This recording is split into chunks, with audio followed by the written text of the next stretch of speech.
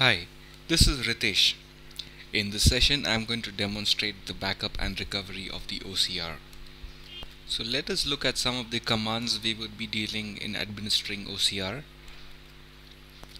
To see the current location of OCR, we do the OCR check.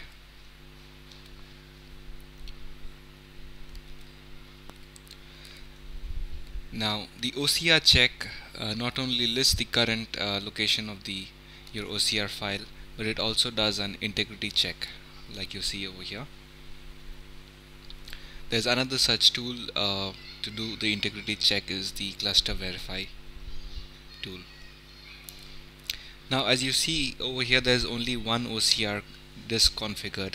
The uh, the OCR mirror is not configured.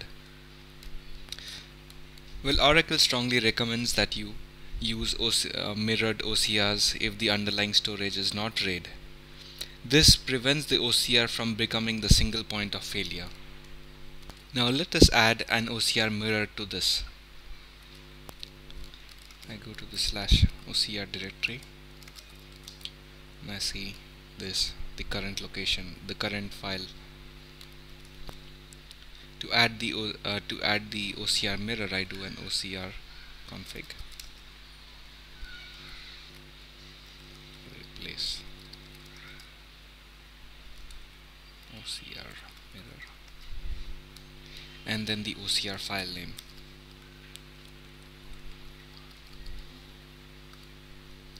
Okay. We would get an error here. Yes. Um, well uh, for some reason OCR uh, you know the OCR config already exists you know it already expects a, a file to be existing. Um, so what we do is we merely touch this file. And then we rerun the same command.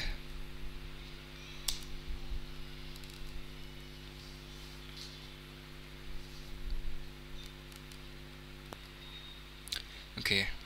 Now we do an OCR check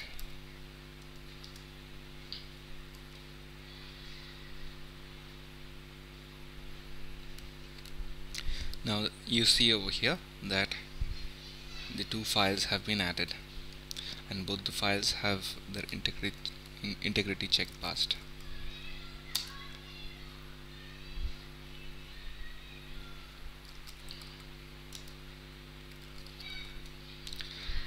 okay um,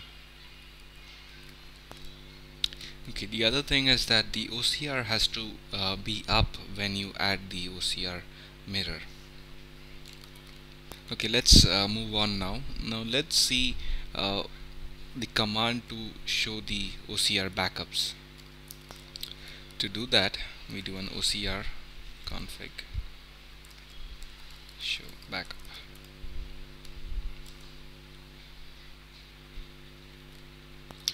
Well, the Oracle ClusterWare automatically creates an OCR backup every 4 hours. At any point of time, the Oracle always uh, retains the last three backup of the OCR.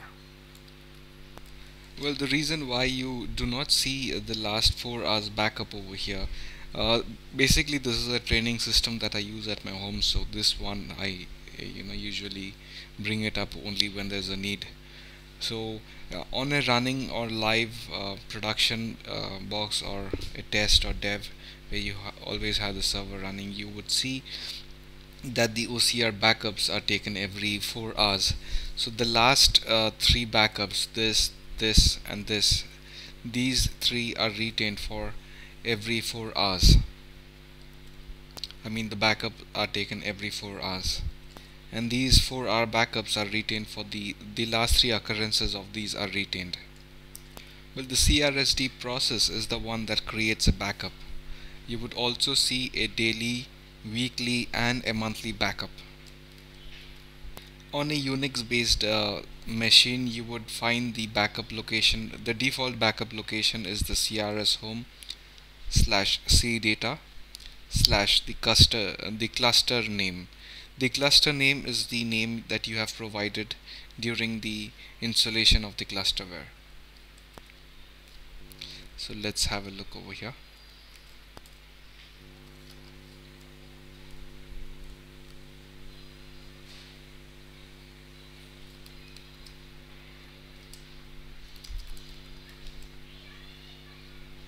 like here you see the last three backups are there and then you would have the weekly the daily and if you have the uh, CRS running long enough you'll have the monthly backup as well. Like I said this is a test machine so I don't have those many backups. Well apart from the auto backup that the CRS uh, takes there are uh, ways we can manually take the backup of the OCR as well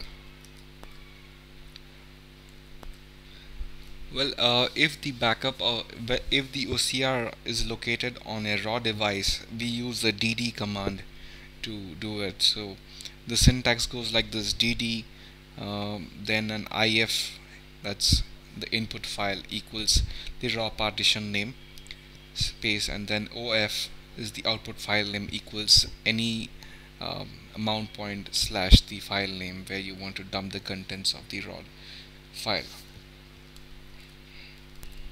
in case your, uh, OCR is on a clustered file system like the OCFS we can use the normal copy or the tar commands to back back up your OCR apart from that um, let me just give you an example like uh, like in a regular database you, you have an export and an import dump file. You can similarly do an export uh, of the OCR file. So let's just do that now. We do an OCR config export TMP that's just um, that's just for for example OCR hyphen export dot TMP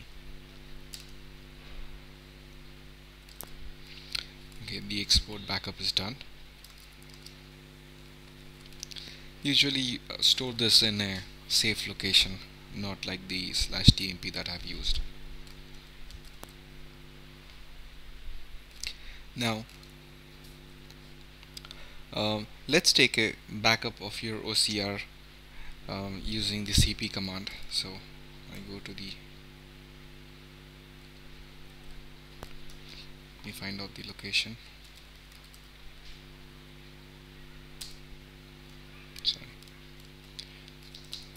check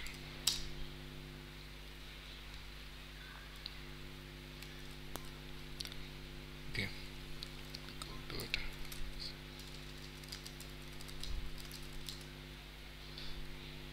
what I would do create a backup directory.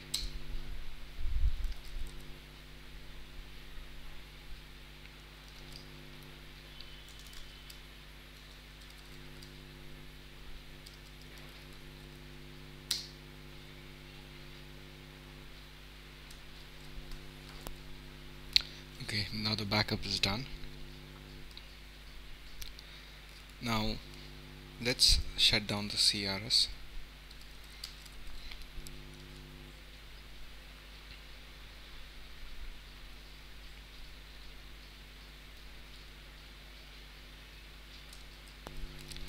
okay um, see the reason why uh, I shut down the CRS is I'm trying to simulate a situation over here.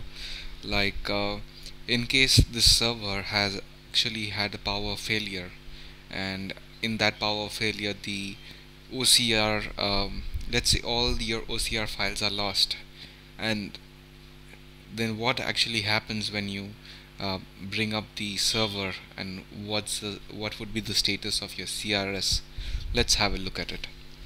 So what I'm going to do is to simulate the failure I'm going to move these files into underscore bkp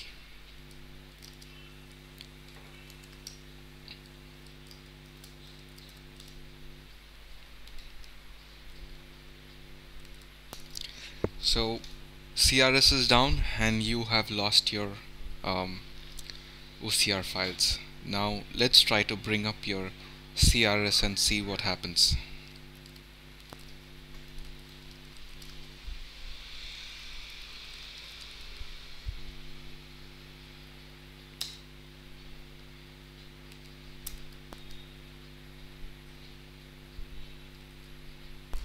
Okay let's check the CRS stat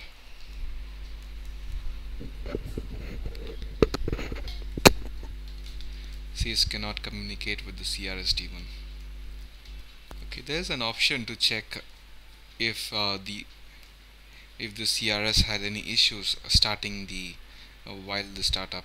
So we do a CRS ctl check boot. So here it throws the error actually.